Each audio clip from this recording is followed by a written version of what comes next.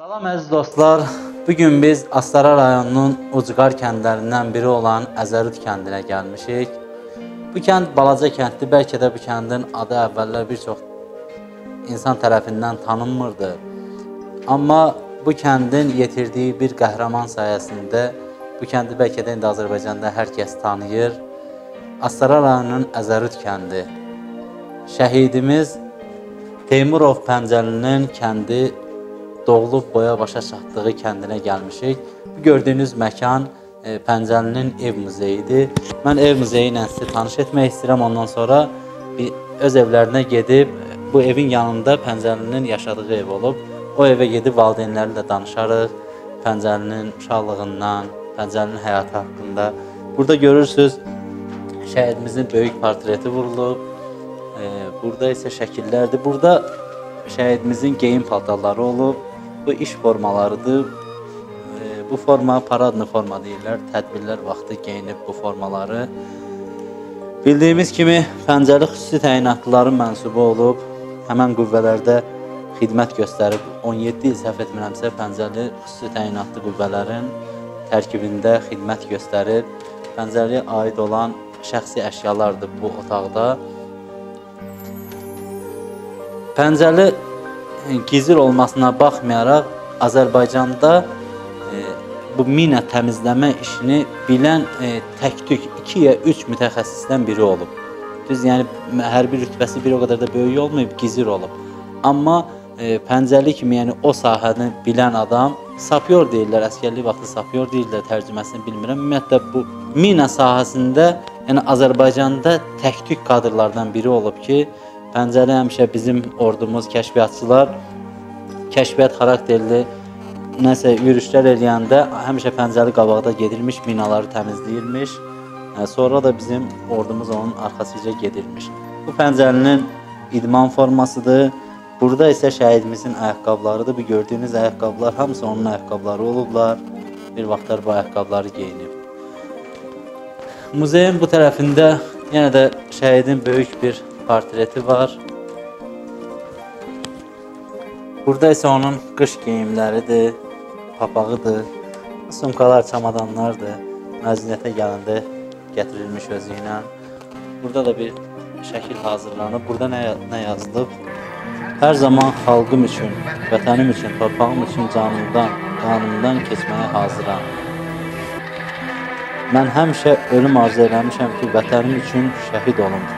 Azərbaycan Respublikasının üç rəngli ay ulduzlu bayrağı ilə bükülü tabutum dəfn olunmağa getsin. Və bu sözlər yəqin ki, bütün Azərbaycan eşidib, ölkədə bu sözləri eşitməyən insan yoxdur. Müğənni ona da söz verir ki, nəsə ürək sözüm var. Pəncəli bu tarixi sözləri məhz o zaman deyib. Burada Təbrizə Pünhanın Pəncəli kitabı var. Başqa-başqa müəlliflərin Pəncəli haqqında yazdıqları əsərlər var. Allah şəhidimizi rəhmət eləsin. Burada da Pəncəlinin döyüş təlimlərindən olan şəkilləri var. Mənalı bir ömür yaşayıb, düzdür, qısa bir həyatında Pəncəli uğurlu bir həyat yaşayıb. Sonda da 2016-cı ilin aprel ayında döyüş tapşırığını yerinə yetirərkən şəhadətə yüksəlib şəhid olub. Allah rəhmət eləsin. Çəkilişimiz şəhidimizin evində davam eləyir. Pəncəlini dünyaya gətirən bu əziz valideynlərlə söhbət etmək istəyirəm. Pəncəlili günlər haqqında, Pəncəli haqqında xatirələr danışmaq istəyirəm. Nurməmməd ata və Vahimə ana yanımızda əyləşib. Əvvəla Allah rəhmət eləsin, başsağlığı veririk sizə. Nurməmməd ata, Sağ ol. biraz ailəniz haqqında bizə məlumat verin. Neçə övladınız var? Pəncəli neçənci uşaq idi? Özünüz nə işlə məşğul olmusunuz həyatda?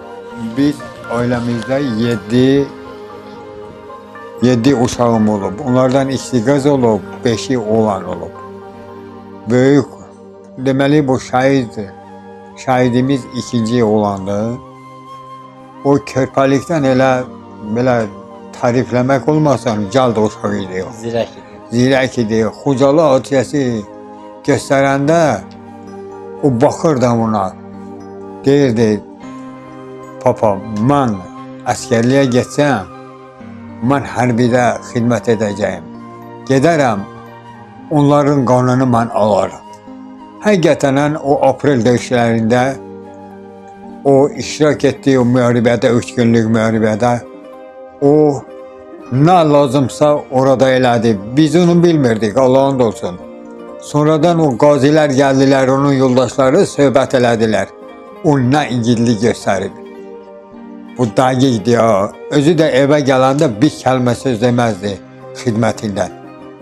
Gələrdi, elə bil ki, biz də elə bilərdik, "Ə, o da xidmətdir, elir. Deməmiş, o kəşfiyyata gedirmiş. Nə qədər gedib kəşfiyyata uğurlu olub, qayıdıbdalar. Ona fəxri fərman. Asaka Hə. üzr istəyirəm. E, El arasında söz gəzir ki, pəncəli keçib erməni tərəfə girib orada dükanda Azərbaycan manatını qoyub çıxır. Bəli, bəli, var elə şey. O gedib bir xeyli vaxt aradan keçib e, yoldaşları elə bilib ki, müşahid olub. Ancaq yox. O qayıdanda gəlib bir e, çaydan keçəndə indi bilmirəm hansı çay olub da. İncə çay herhalde olub. O bir də görürlər ki, bir nəfər gəlir. Əlində belə bir şey tutub ki, ancaq uzaqlıqdan görürlər də bilmirlər nədir. Deməmiş silahıdır, özü silahıdır. Ha, indi nə tapşırıq olubsa onu eləyib, qaydanda gəlib o e, çaydan çıxıb gəlib bizim tərəfimizə. Onun şəkli o muzeydə var, saqqal saxlayıb belə ki. Həmin o saqqalın saxlamasının mənası da elə nə qədər gün orada qalıb ki, o saqqal elə gəlmişdi, hə. Belə. Düşmən tərəfdə. Bəli, bəli, bəli. Ancaq sezməmişdilər. Nə qədər gəzmişdi, məsələn, nə eləmişdi, bilməmişdilər. Bu Azərbaycanlı da gəlib burada əməliyyat keçirir. O düzdür, onlar hamısı düzdür. Sigaret qoyub, kapik qoyub. Sonra da görürlər ki, ki, bu Azərbaycan sigaret idi. Azərbaycan kapik idi. Onun başı üstə hər halda siz eşitmiş olarsınız. e, Onun Eşitmişik və sizdən də Ha. eşitmək istəyirik. O pul qoymuşlar Nə qədər pul qoymuşlar?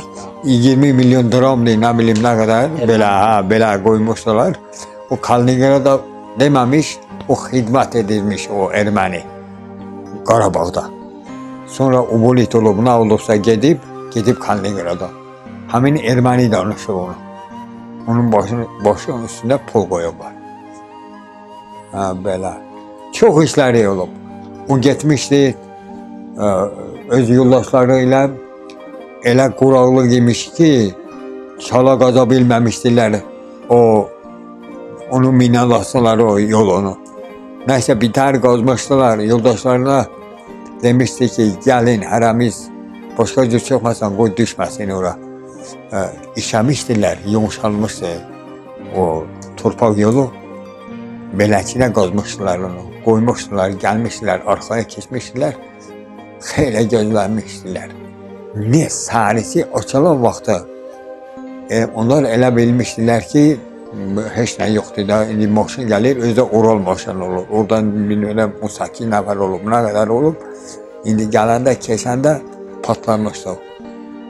O erməni tərəfi onu vertolyotla onları daşıdı, apardı, ancaq o maşını çıxara bilmədilər, dəbirlamışmışdı, getmişdi dərəyə. Sonra da bir dənə Uaz, Uaz markalı maşını vurmuşdu. Oğlanların yadında olar ya herhalde benim yadımda değil. Kama, öz komandiri ile birlikte Murad Mirza ile birlikte gitmişler ameliyat geçirmiştiler.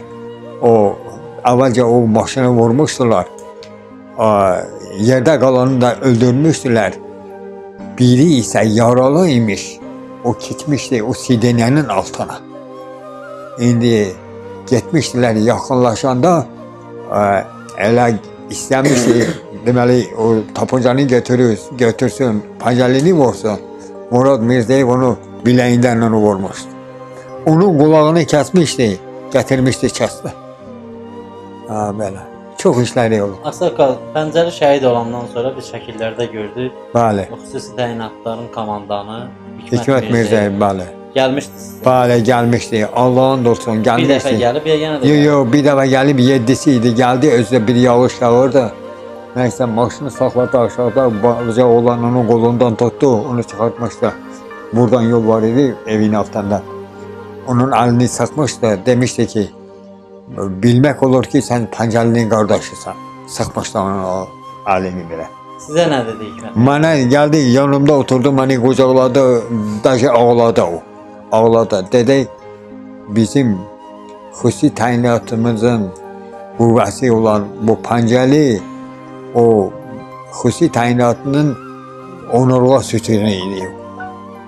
Siz bilin, Astarada sol verdilər. Neçə qəhrəman var? Bir dənə var idi. O da Heydər Əliyev vermişdi o çevriliş dövründə. Ha, ikinci qəhrəman sizin oğlunuz olacaq. Biz də agah olduq. Sonra təklif etmək dövründə gəldilər burada o vətən uğrunda medalı ilə təklif etdilər.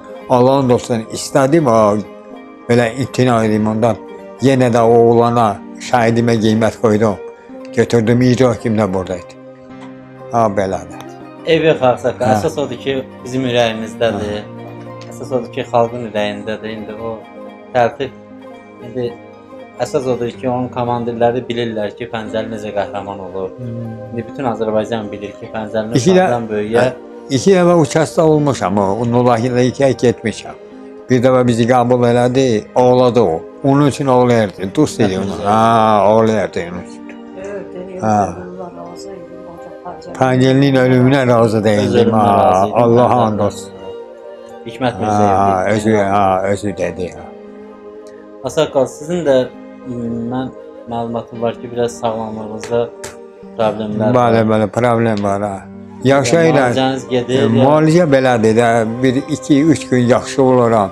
Sonra tutur məni də. O demədə zad vururlar, sistem vururlar. Sakitləşir də belə. Sizə bu Deməli, sağalmayan xəstəlikdir, başa düş. Sağalmayan xəstəlik. Məsləhət bilmədilər operasiya etmək, məsləhət bilmədilər ximiya etmək. Başa düş. Sağolluq olansan, çarəsiz xəstəlikdir. İndi nə qədər çəksən. O hakim- verən Allah. Ha, o hakim dedi ki, Sağalmayan xəstəlik yoxdur, ömrü verən Allah. bəli, bəli, bəli. 5 il verər, 10 il verər, 15 il verər. İndi Allah O nə versə. professor dedi ki, bəlkə belə 2 il yarım yaşadı, qoy getsin yaşasın. Qoy əməliyyat da olmasın. Belə yaxşıdır. Məsləhət Asakal bu sizin Gətirdim, deputatınız Rəşad müəllim axtarırsınız. Ço- Yəni bu bizim deyil sözün qısası. Ə, Bizim dairəmiz ziyafət əskəridir. O hamışamın deputatı. Ancaq gəlir. Hesab eləmirəm. Yox, yox, o gəlir. O da adamın adamın belə necə deyirlər? Rəşad? Rəşad, Mahmudov gəlir bura. Mahmudov gəlir. Ziyafət də gəldi. Bir ildən sonra gəldi. Ə, sonra Qanira Paşayeva gəldi. Bura gəlir. Və mən nəyə görə Rəşad Mahmudovu soruşdum? Çünki Rəşad Mahmudov deputatlıqdan əlavə həkimdir də, ölkənin Hmm. bir nömrəli həkimidir. Bütün qazilərə, şəhid ailələrində nə problem olanda, onun ərazisi olmasa da, Yox, yox, boş çəkir o. olsa, Gəncədən də olsa, Ha, Yox, Rəşad köməkli. Mahmudov öz Yox, köməklərini o, yox, onun köməkliyi olub. Onu adam onu itirsə o adam adam deyil. Allahın dostu. Həbib Rəhimov, Emini tanıyırsınız, onun köməkçisi var. Bilirəm, indi indi Yapın sədri. Yapın sədridir. O çox gəlir bura. O elə bir dostdur. İnanırsan bunu görür, elə bil ki öz ananı görür belə ki. Yaxın sədri. Ha, ha, ha, çox gözəl. Ha, elə bir dostdur ya. Oğlunuzdur. Ha. Biraz ana ilə danışın. Ha. O bizim də oğlumuz. Gəlib maraqlanırsınız nə? Əlbəttə Rəşad Mahmudovun yaxşılığını mən heç vaxt unuda bilmərəm. Nə edib ki, Rəşad? Rəşad Mahmudov mənim mənim birinci oğlum bizə odun vermədilər. Oğlum getdi meşədə odun Kəsəndə. hə. odun kəsmirdi. Yıxılmış ağac idi. Onu doğramaq istəyəndə ağac sürüşdü, onun ayağını əzmişdi, pis əzmişdi. Daha burada onun çarəsi yox idi. İranda, Təbrizdə onun ayağını kəsdilər. Deməmiş damarlar bir-birinə düz sərgilə etəmir. Ağac kəsdilər ayağını. Rəşad Mahmudov onu protez ona verdi. Onun yaxşılığı bizim həmişə bizim gözümüzü Mən Mehrim xanımın oxunduğuna müraciət elədi. 23 min götürdü. Yaxşı protest. Habib də həmişə yolu düşəndə bir övladım kimi gəlib məni ziyarət eləyər. Həmişə bura gələr, elə bil mənim doğma övladımdır. Mən də onun xətrini çox istəyirəm. Allah ona can sağlığı versin. Mənim arzum budur. Həbib bir oza yüksək vəzifələrə getsin, işləsin. Və əziz tamaşaçılar, bax buradan o, bəzi deputat köməkçilərinə, bəzi məmurlara bildirmək istəyirəm. Bax, mən öz ömrümdə ilk dəfədir Pəncərinin valideynlərini canlı görürəm. Mənim e, kanalım da, televiziya kanalım da eləmişdir. Əgər şəhid valideyni narazı olsa, mən deyərəm narazısansa da sözüm deyilən, razısansa da. Görürsüz, e, Həbib haqqında e, və yaxud Rəşad doktor haqqında xoş təəssüratla danışırlar. Çünki hə, yəni yaxşılıq görüblər, yaxşı danışırlar. Birdən görməsəydilər deyərlər tanımırıq. Ona görə həmişə bu ailələri axtarmaq lazımdır. Ay vay mana, biraz Pəncəlinin uşaqlığından məncə. Pəncəlinin uşaqlığı, Pəncəli hmm, yaz ayı ayında mart ayının 24-ü Dünyaya gəlir. dünyaya göz açdı. Həqiqətən Pəncəlinin babası, nənəsi, bibisi onu balaca vaxtında görəndə deyirdilər ki, bu pəhlivan olacaq. Bu çox cəsur olacaq. Həqiqətən Pəncəli elə cəsur idi.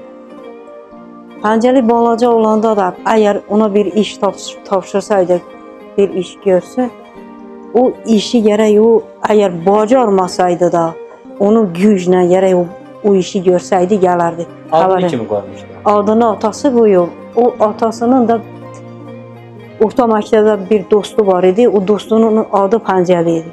Atası ondan çox möhkəm dost idi. Pəncəli dünyaya gələndə atası dedi ki, onun adını mən öz dostumun adını Pəncəliyə qoyar. Həmin həmin adı Pəncəliyə qoydu. Pəncəli çox cəsur, çox mərd oğlan idi. Çox təmiz, təmiz ürəkli insan. Onun hərbiyə getməsi siz inanın bizim o vaxtda çox yaxşı da televizorumuz yox idi. Yaxşı da televiziya burada tutma, tutmazdı. Bir balaca televiziyamız var idi. O o televizora baxanda siz inanın həmin Xocalı hadisəsi vaxtı çılpaq uşaqlar, yaralı uşaqlar qan içində, ot içində, torpaq içində uzanıb onun cansız bədəni, qocalar, cavanlar, onları görəndə o belə qurardı belə yumruq deyərdi ki, mən gərək bu insanların qanını alım. Həmin vaxtdan o elə onun ürəyində, onun beynində var idi. Öz dediyinə də çatdı, öz dediyini də elədi. O hərbiyə getdi, yazıldı, gizil kimi. yo. Yox, o 11 ay 9 ay. 11 ay o hərbidə e, əskər idi. 11 ay. 11 aydan sonra biz gördük o evə gəlib. Belə bildik məzuniyyət məzuniyyətə gəlib. Dedi anam biz gəl mən gəlmişəm. Mən öz dediyimi eləməliyəm. Dedim oğlum nədir ki?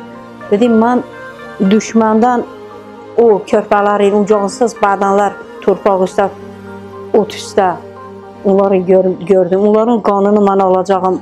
Hökmən mən hərbidə qalacağam. Orada o, onların qanını alaram. O gəldi burada nə lazım idi sənədlərini topladı. Rayondan bu bizim bu kənd icra nümayəndəsində topladı, götürdü, getdi. Getdikdən sonra qoydu bu gəldi. Gəldi dedi, bilmirəm 125 nəfər olub ya 225 nəfər əskər yığmışdılar. Onlardan 24 nəfər imtahandan keçmişdilər. 24 nəfər imtahandan keçmişdi. Pəncəli də onların içində. Sonralar o 24 nəfərdən də xeyli çıxdılar. Ancaq Pəncəli yenə də o azab əziyyətə dözdü, o çətinliyə dözdü, qaldı orada xidmət elədi. kasıb idiniz. Əlbəttə, hə. verirsiniz, amma bax, Əlbəttə, çox, çox. Siz mən əgər öz keçmişini danışsam, onları mən böyütmüş necə olar? böyütmüşəm, mən onlara çox azab əziyyətlə böyütmüşəm. Azab əziyyətlə böyütmüşük. 7 il qaynata evində qaldım. 7 ildən sonra 2-3 uşaqla ayrıldıq. Bir daxma daxmada yaşayırdıq. İndi muzey orada tikilir. O muzeyin də bir mənası var orada tikilir. Siz inanın, mən səhərlər işə gedərdik, ikimiz fəhlə idik, işə gedərdik. Günorta vaxtı gəlib, onu yedizdirərdim. Beşikdə yedizdirərdim. Uşaqların xörəyini verərdim. Yenə də qayıdardım işə. Axşamüstü yenə də gələrdim. İnanın, mən axşamlar öz işimi görərdim. Heç inanın uşaqlarla mən o qədər də maraqlan maraqlana bilməzdim. Belə onları böyütmüşdüm. Əzab əziyyətlə böyütmüşdüm. Çox əziyyətlər görmüşdük. O da siz inanın, o da elə onun da taleyi əziyyətlə, əzabla. Necə balaca vaxtı onu əzab əziyyətlə böyütmüşdüm.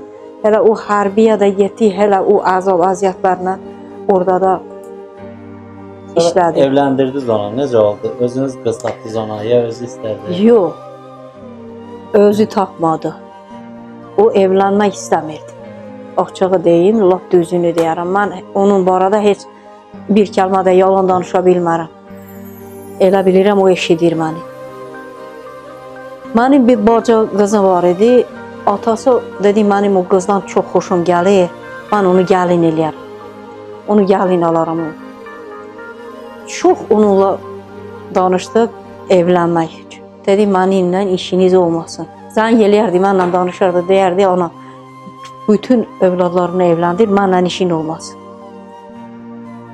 2 3 bir qız köçürtdük, iki oğul üçün toy elədik.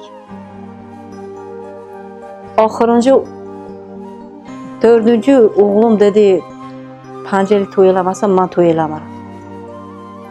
Axır yal yalvardım telefonda ona, yalvardım dedim oğlum, özümə bahana gətirdim, ha, bahana gətirdim dedim oğlum, malları saxlaya bilmirəm. Neçə ildir. Axır sən evlən, qoy mən də rahat olum da, mallar saxla malları saxlamaram, az saxlayaram. Əzabdır mənim üçün. Bahana gətirdim. 2-3 gün mənə vaxt verdi. 3 gündən sonra mənə zəng elədi, dedi ki, ana mən siz siz deyən olsun, məni evləndirirsinizsə, siz deyən olsun. Hazırlıq işləri görün. Siz inanın, o sözü mənə deyəndə uşaqlarım hamısını çağırdım bu balkona. O gündən inanın bu balkonda toy başladı. Uşaqlar yatmadılar axşam. Dedilər ki, pəncəli toy boynuna alıb biz onun toyunu eləyərik. Bir də elə oturmuşduq, elə söhbət elədik. Bir mənim o Allahdan mənim dilimə gəldi. Dedim, böyük oğluma dedim, Elbrus bilirsiniz nə var? Pəncəli toy boynu boyuna alıb siz onun üçün bir dənə yaxşı müğənni seçin. Qoy onun toyu bir yadigar qalsın. Elə belə mənim dilimə gəldi. Oğlum mənə dedi, ana sən nə deyirsən? Sən niyə elə deyirsən ki? Sonra o şahid olduqdan sonra mənə dedi, ana sən nə bilirdin, onu dedin, onun toyu yadigar qalsın. Həqiqətən onun toyu yadigar qaldı. Öz toyunda özünə nələr arzu elədi. Kişi o qızın xətrini çox istəyirdi. Atasının dediyindən çıxmadı, o qızla evləndi. 2 il 7 ay evli qaldı, övladı da olmadı. Övladı da olmadı. O həmişə mənə zəng eləyəndə saat 11-də, axşam saat 11-də zəng eləyir. Eləyər. danışırdı, Azərbaycanca. Azərbaycanca da danışardı, Talışca da danışırdı. O dillər bilirdi. Erməni dilini də bilirmiş. Biz bilmirdik. Bax dili yaxın. Fars dilini də bilirdi. Bəzi sözləri bizim üçün deyil. Biz bilmirdik heç nə. Bir dəfə mənə zəng elədi. Axşam saat 11-də. Həmişə də mən də soruşardı, ana uşaqlar necədir? Bütün qardaşlar üçün, qardaş uşaqlar üçün, hamısı üçün soruşardı, bir-bir soruşardı. Bir də mənə dedi, soruşduqdan sonra, ana bilirsiniz, səndən bir şey istəyirəm. Bir kəlmə söz istəyirəm. Əgər mənim xətrimi istəyirsənsə, mənə hədir. İstəmirsən, mənə yoxdur. Düzü mən də bilmirdim o mənə nə deyəcək. Mən də elə gülə-gülə dedim, "Pənc." Mən ona pənc deyərdim, "Pənc. Mən öz canımı da sənin yolunda verərəm. Necə yəni mən sənin dediyini eləmərəm?" Dedi, "Hə, ona deyirsən, canımı, canını Allah eləməsin, canını vermə. Mən səndən bir kəlmə söz istəyirəm." Dedim, "Nə istəyirsən, de." Dedi, "Ana, 18 il mənim üçün əzab, əziyyət çəkmisən. məni böyütmüsən. Sən öz əzabı, əziyyət çəkdiyin əzab, əziyyəti mənə hal.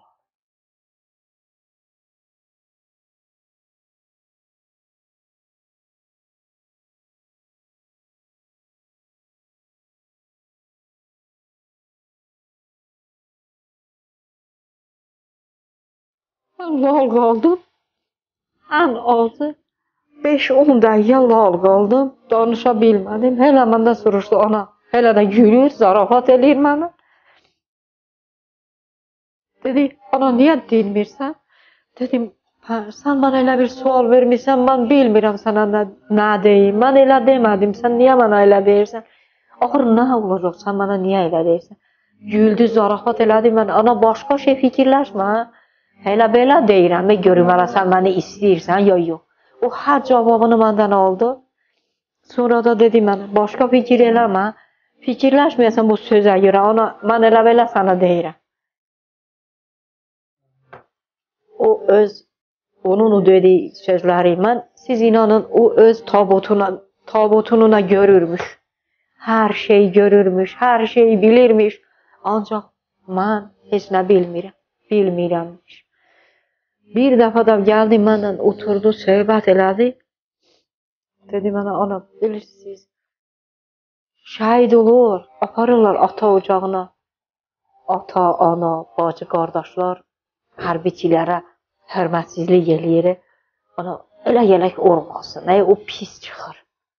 O hörmətsizlik pis. Hərbiçilərin günahı heç nə deyil. O elə eləmək olmaz. Siz inanırsınız? Mən bu sözlərə eşidirdim. Bu sözlər mənim yadımda heç deyildi. Necə onun şəhid olan olduğunu eşitdim. Siz inanın. Onun o dediyi sözlər hamı gəldi mənim gözümün qabağında. O vaxtı o hiss elədim, o məni hər şeyə hazır eləmiş. Eləyirmiş. Hər şeyə hazır. Siz inanın, elə biz, mən onun o icra hakim demişdi, oğullarıma demişdi ki, ana bacı baxmasın ona. Qardaş Ama demişti gelin. yolda baxın. Mən də dedim, güya biz qışqırarıq burada. Səsküy eləyərik. Dedim siz gedin o icra hakimə deyin. Pəncəli çoxdan məni hazır eləyib öz tabutuna. Gedin ona deyin. Mən heç nə eləmərəm. Mən bir öz övladımı görüm. Onun nişanəsini görsəm, onun bədənində nişana var. Nə vəziyyətdə də olsa, çoxunda nişana var. Mən baxaram, öz övladımı bilərəm. Sonralar gətirdilər, açdıq, baxdıq. Sakit-sakit baxdıq, sakit ağladıq, sakit-sakit onu qarşıladıq. Sakitə onu yola saldıq. İndi 6 ildir, 7-ci il. O ağla, o mənim üçün mənim ağla ağlamaq yerimdir. Gedib orada mən öz dərdimi, o ağlamağı orada o muzeydə hər şey mən orada gedib eləyirəm. Çıxıb gəlirəm. Həmin o muzeyin də orada düzəltməsinin bir mənası var idi. O bir gün məzuniyyətə gəlmişdi. Həyatda gəzirdi, elə belə gəzirdi. Bir də o daxma bizim o qabaq yaşadığımız daxmaya baxdı. O balaca qardaşı ilə zarafat elədi. Dedi: "Familiyamı mən haçan pensiyaya çıxsam, mən gəlib burada özümə bir ev tikərəm. Mən özümə bir ev tikərəm." Onun bu bir kəlmə sözə görə siz inanırsınız. O elə öz övladların, bu qonşu, əmi oğullar, bunlar köməkləşdilər. O muzey orada düzəltdik. O muzey orada düzəldəndə daş da daşımışam. Palçıq da tutmuşam. Hər iş görmüşəm. Mən özüm öz əllərimlə. Buranın icra nümayəndəsi gəldi, gördü mən daş daşıyıram. Ağladı, dedi: "Ana sən nə edirsən?" Dedim mən pəncəlinin bir kəlmə sözün, kaş gərək onun hər bir arzu ürəyini bilsəydim, onun arzularını mən özüm yerinə yetirər. Bir kəlmə sözə görə o, o binanı orada düzəltdik. Ana 7 ildə heç yuxulara gəlirmi? Bu il Görmürsünüz yuxuda. birinci dəfə, bir dəfə onu yuxuda gördüm. Gördüm 3 mərtəbəli binaya çıxır. Bütün balkon, bütün hərbiçilər doludur. O dik gəlir bu hərbiçilərin arasından keçir, gedir bir otağa girir. Bu ildə bir dəfə onu gördüm. Gördüm elə bir xəstədir, uzanıb. Gedirəm onu öpürəm. Qucaqlayır məni sıxır, öz sinəsinə belə sıxır. Məni öpür, mən də onu öpürəm. Elə bilirəm sağdır. Deyirəm bu sağdır, buna heç nə olmaz. Elə belə belə his keçirirəm. Yenə ayıldım, gördüm heç nə yoxdur. Bir iki dəfə görmüşəm.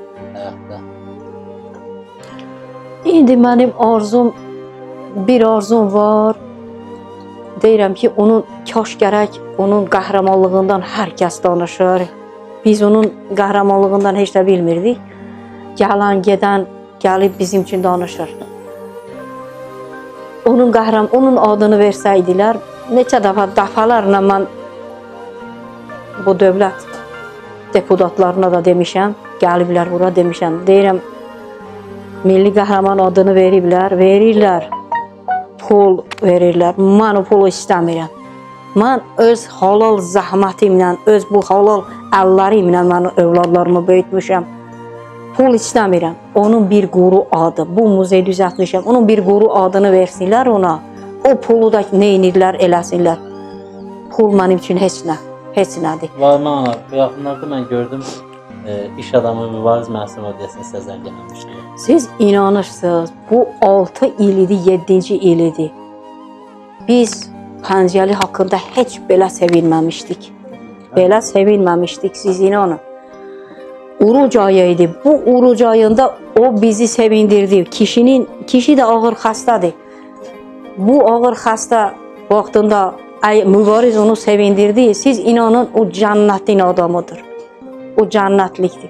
Allah mən həmişə ona dua edirəm. Allah onu həmişə sevindirsin. Allah onun düşmənlərini kör etsin, kar etsin. Çox İnşallah Pəncəlinin adına gəmi olacaq, tanker olacaq. tanker olacaq, Siz bəli. dəvət edib Türkiyəyə. Hələ vaxt qalıb. Vaxtı hazır olanda deyəcəm. Allah can sağlığı versin.